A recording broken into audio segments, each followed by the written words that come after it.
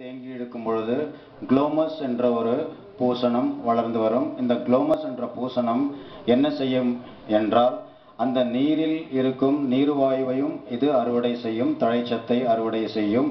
அதன் பிறகு காற்றில் உள்ள நீர்வாயுவை தழைச்சத்தையும் இது அறுவடை செய்து நெல் பயிரின் வளர்ச்சிக்கு இது கொடுத்து உதவும். இதனால் நீங்கள் இந்த நெல் சாகுபடியில் ஊடுபயிர் செய்ய வேண்டிய அவசியம் இருக்காது. The paddy plant is photosynthetic, not photosynthetic.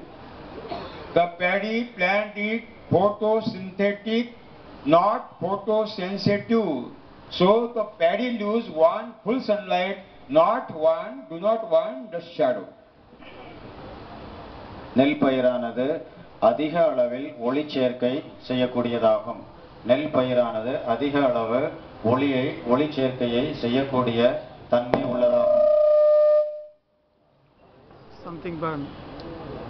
அதிக அளவு ஒளி சேர்க்கை செய்யக்கூடியதாகும். எனவேதான் இது சூரியனிடமிருந்து அதிக அளவு வெப்ப சக்தியை எடுத்துக்கொண்டு வளரும் தன்மை உடையது. அதிக அளவு இதனால் சூரிய வெப்ப சக்தியை எடுத்துக்கொள்ளும் தன்மை உடையது. The when the leaves of any graminy plant, just like paddy, sugarcane, will be existed in shadow. The leaves will not manufacture food by means of the photosynthesis. 10:30 morning to 3:30 p.m. evening. They will stop the and they will sleep as like offices. இந்த நெல் பயிரும் கரும்பு பயிரும் கிராமினே என்ற குடும்பத்தை சேர்ந்ததாகும் இந்த இரண்டு ரக தாவரங்களும் அதிக அளவு ஒளியை எடுத்துக்கொண்டு ஒளிச்சேர்க்கை செய்து உணவு உற்பத்தி செய்யக்கூடிய தன்மை உடையது. எனவே இந்த ரெண்டு பயிர்களின் இலைகளுக்கு நிழல் இருக்கவே கூடாது. அவ்வாறு நிழல் இருந்தால் ஒரு நாளைக்கு பத்து முப்பதிலிருந்து மூன்று முப்பது வரை எவ்வளவு வேலை செய்து உணவு உற்பத்தி செய்ய முடியுமோ அந்த உற்பத்தியை இது செய்யாமல் தூங்கிவிடும். எனவேதான் இந்த இரண்டு ரக பயிர்களுக்கு அதிக அளவு ஒளி தேவைப்படுகின்றது. நிழல் இருக்கவே கூடாது. Paddy leaves want 7000 to 12000 foot candle intensity of the solar light. That means full sunlight. So it is better to expose the leaves in the sunlight forever.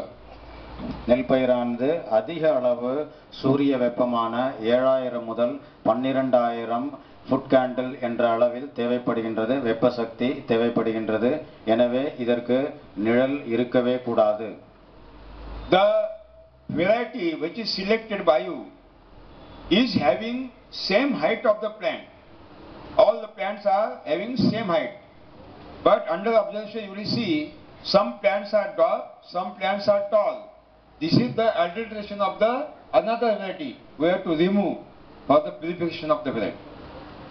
நீங்கள் நிலத்தில் சென்று பார்த்தீர்கள் ஆனால் பயிர்கள் எல்லாம் ஒரே ரகமாக ஒரே உயரமாக இருக்கும். ஆனால் சில ரகங்கள் இவை வேற்று ரகங்களாக இருக்கும். எனவே சில ரகங்கள் உயரமாக இருக்கக்கூடும். இந்த உயரமாக இருக்கும் வேற்று ரகங்களை எடுத்து நீங்கள் சுத்தம் செய்ய வேண்டும். சில ரகங்கள் உயரமாக இருக்கும் இவற்றை நீங்கள் எடுத்து அழித்து விட வேண்டும். And you have to take the observations of the uh, crop for seed selection. When observation you will take, you have to take the Red uh, pieces of the threads and then take observation from the flowering stage every week or twice a week. Which plant has a number of pillars, highest number of pillars. Number of pillars are highest, very healthy, no disease, no insect attack, and ears are very broad. Every uh, seed is totally developed, and there is no vacant space. And beautiful crop, you have to tie one with thread to that band.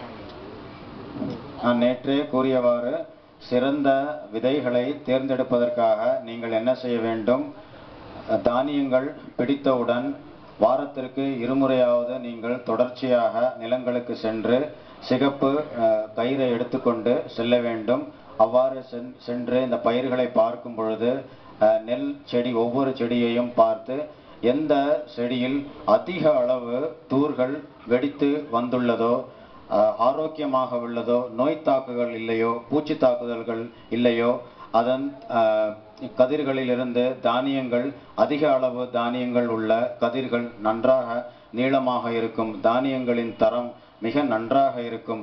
இத்தகைய ஒரு செடியை நீங்கள் தெரிவு செய்து தேர்ந்தெடுத்து அந்த செடியில் நீங்கள் அதை கட்டிவிட வேண்டும். இந்த சிகப்பு நூலை கட்டிவிட வேண்டும். இவ்வாறு நீங்கள் தொடர்ச்சியாக அறுவடை செய்யும் வரை தானியம் பிடி பிடித்ததிலிருந்து அறுவடை செய்- செய்யும் வரை தொடர்ச்சியாக நிலங்களுக்கு செல்ல வேண்டும். நல்ல க விதைகளை தேர்ந்தெடுப்பதற்கு தொடர்ச்சியாக நீங்கள் செடிகளை தேர்ந்தெடுத்து இந்த நூலை கட்டிவிட்டு வர வேண்டும்.